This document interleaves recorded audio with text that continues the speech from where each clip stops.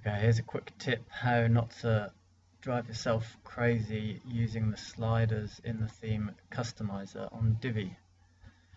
If you go into the customizer, and what I was doing the other day was setting so the menu doesn't shrink and I was trying to get on 70 and you see it's pain my hand's hurting. So what you do you click on and then use your arrow keys. So we're on 73 click on it let go.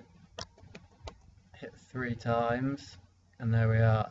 Just click on again and it's on 70 I go up. One two three four five. That should be 75 no more sore hands and you can get the slider exactly where you want it